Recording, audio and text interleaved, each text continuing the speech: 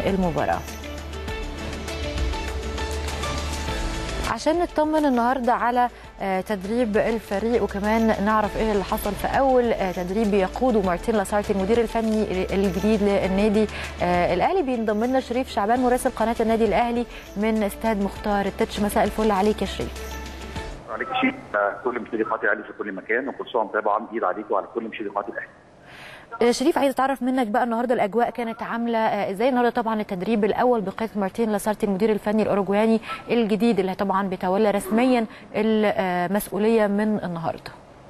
خليني أقول لك يمكن بالفعل يمكن التمرين مستمر أمامي يمكن في تقسيمة بيقودها طبعا المدير الفني الجديد مارتن لاسارتي يمكن التدريب المفروض كان الساعة 4 يمكن دقه ساعة العمل زي ما الناس بتقول يعني روح جديدة شكل جديد في تمرين النادي الأهلي. يمكن كان في اجتماع مع الجهاز الفني يمكن الساعة 4 إلا ثلث نزل المدير الفني مع الجهاز كله بالكامل وقف حوالي 20 دقيقة في الملعب.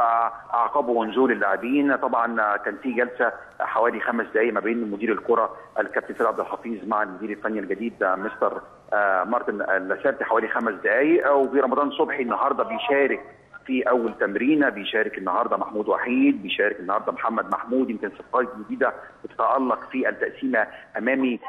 جاليردو المهاجم الانجولي يمكن النهارده بيحرز هدف عالمي في التقسيمة قدامي. رمضان صبحي بيتألق في التقسيمة. محمود محمود وحيد بيتألق بالأوفرات يعني بكل دقة. محمد محمود ما شاء الله شكله صفقة من العيار الثقيل كان في النهارده جلسة أيضا مع محمد هاني وليد سليمان برضو مع المدير الفني حوالي ثلاث آه دقائق. يمكن التدريبات البدنية كانت في بداية التمرين ثم تدريب بالكرة الضغط على من لمسة واحدة والضغط على الخصم ثم آه تقسيمة في مساحة ضيقة آه بيجريها الآن لاعبي النادي الأهلي. تدريب الحراس مستمر على أعلى أعلى مستوى. كابتن شناوي علي لطفي مع طبعا المدير مدير الحراس أو مدرب الحراس كابتن طارق سليمان. يمكن في جلسة شايفها أمامي حوالي يمكن بقى لها 10 دقائق ما بين كابتن طارق سليمان وكابتن شريف اكرامي اللي النهارده ما, ما شاركش يعني في التدريب بالكوره كان في تدريب بدني بس بيشارك فيه عشان شارك امبارح في المباراة. وكان بيساعده أيضا في التدريب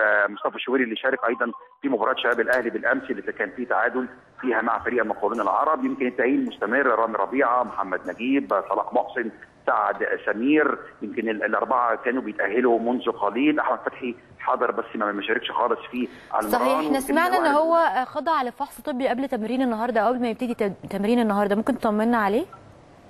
أحمد فتحي أنا شفته موجود وخرج. مستني طبعا خروج الدكتور خالد محمود عشان خاطر أسأله.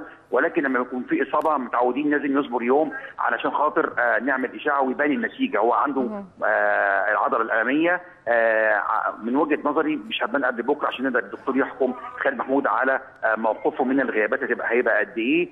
طبعا تدريبات خاصة اللي شاركوا بالأمس يمكن تدريب بدني مع مدرب الأحمال الجديد تدريب إطالات واسترتشات وبعد كده دخلوا الجيم وبعد كده رجعوا تاني استرتشات في الملعب ثم الاستشفاء الجهاز الثلجي أو المخطف زي ما بيقولوا.